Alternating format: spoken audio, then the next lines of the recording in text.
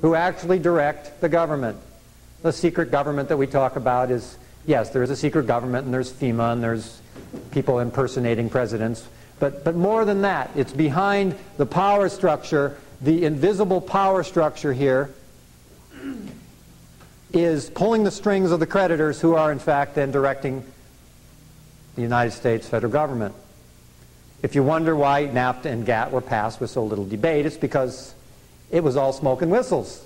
It had already been decided by those who direct the government that these are the bills that are going to be passed, including the counterterrorism bill and everything that Congress does, except maybe making some ridiculous joint resolution about making something a national holiday for parakeets or something. That, you know, they may, they may, you know, have some power, but not a lot.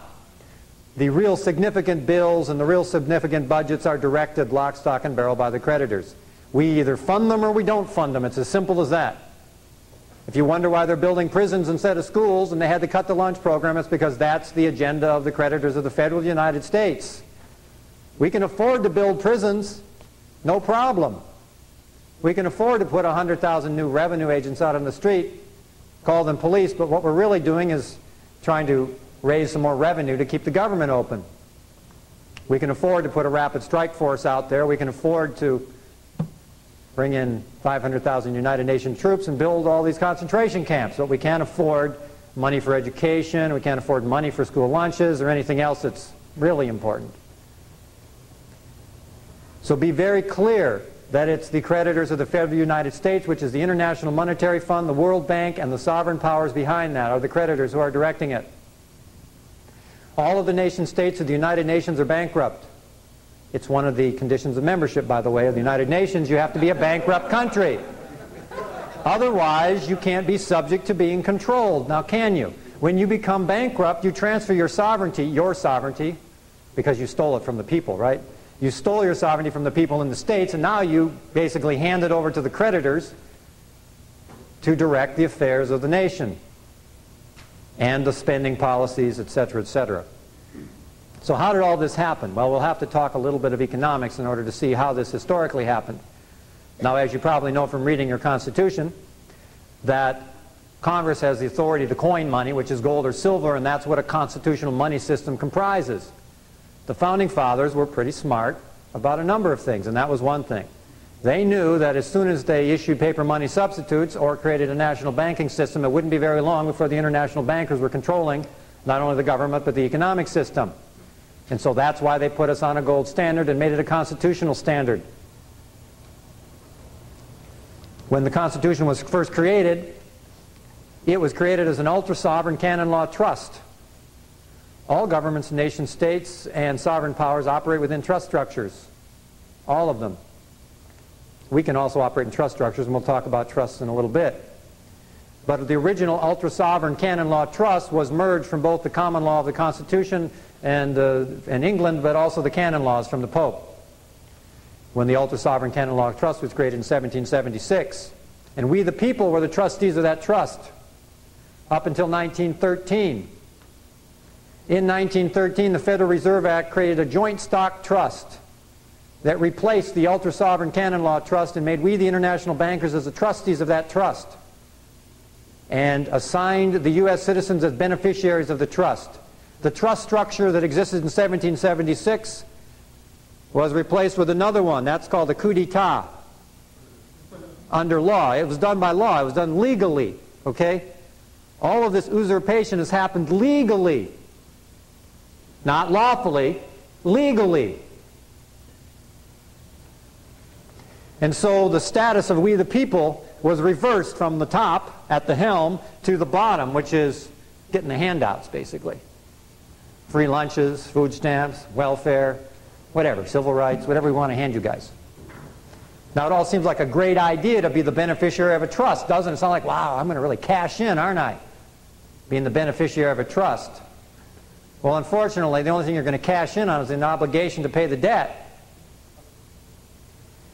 Prior to 1913, the American people had direct veto power against spending policies of the federal government because in order for the federal government to borrow any money, it had to go to the people. There was no central bank it could go to. It had to sell bonds.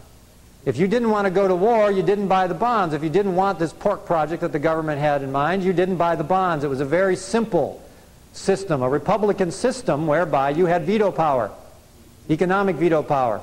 And it worked very well until 1913. That's how come government managed to stay small. Because it didn't have an unlimited credit line to go on a shopping spree for 80 years and make you pay for it. So in 1913, there was this convenient new arrangement made. The Federal Reserve Act created an unlimited credit line for the federal United States government to borrow directly from the Federal Reserve Bank and obligated the American people to pay it back, completely bypassing what was our veto power, and they no longer had to come to us directly to ask permission to fund something. They went directly to the bank. Now, if you go to the bank and want to borrow some money, what do you got to do? You got to put collateral up, right? They're not going to give you a $5,000 loan if you have no collateral, if it's unsecured. You're going to have to put up your house, your car, your land or something, right? Well, it's no different for the government, except the government doesn't have any assets. That's the difference. And so instead of putting up the assets they didn't have, they put up your assets. They said, here, we'll make you a deal. You lend us all the money, and we're going to collateralize first the gold, and then the land, and then the corporations, then the national parks and forests, then the birth certificates, until we've collateralized all the tangible property in the United States of America. The first thing they collateralized against the debt in 1913 was the gold. It's called hypothecate. It's a legal term means that theoretically, if you can't pay it off, hardy har har, we're going to take the collateral, which they did in 1933. It only took 17 years under this new arrangement for the federal United States to go bankrupt the first time. Only 17 years before they couldn't service the debt, the interest on the debt of the money that they had borrowed. And so they had to declare bankruptcy in the Bretton Woods Agreement in 1913, pardon me, 1930, 16 nations went bankrupt after World War I. And this was one of them, the United States, federal United States. And so when the country went bankrupt, it precipitated the Great Depression, which was also manipulated and created by the international bankers to demoralize the people, number one, but also to shift power away from the sovereign people, to shift the land away, and to shift the gold away from the people and into the hands of the international bankers and the sovereign power structures behind them. So in 1933, with House Joint Resolution 192, on the floor of Congress, the Federal United States declared bankruptcy and no longer could service debt with gold because it had no more. And so it then made what we call now legal tender or fiat money, a money paper substitute, and then decreed that, well, since we don't have any gold, you know, we'll just have to use paper instead. And then they passed the Gold Standard Act in 1935 and confiscated all the gold from the American people to satisfy the creditors of the United States. And the people willingly handed all their gold over to the nearest Federal Reserve Bank and initially got a paper currency that was redeemable in gold or silver at a revalued, at a revaluation from 1 20th of an ounce to 1 35th of an ounce. But shortly thereafter, within a matter of a couple of years, you no longer could redeem it. So you basically traded gold for paper. What a great deal. That was the first bankruptcy. And ever since that point, we have been proceeding down the road of an exponential debt curve whereby there is only one possible conclusion of an economic system set up on an unsound and unsustainable basis, which is bankruptcy. Not just for the government, but for all the people as well. And so the federal government went bankrupt, and every time it's gone bankrupt, it's transferred more of the assets of the American people over to the international bankers. And because the American people are not aware of the nature of ownership, the nature of titles, the nature of sovereignty itself, we allow that to happen. A deed is not title. You do not have title if you have a deed. You can pay your mortgage for 30 years and you will not own your property. You only have a deed. A deed is not a title. A title is the land patent. It's called an allodial title.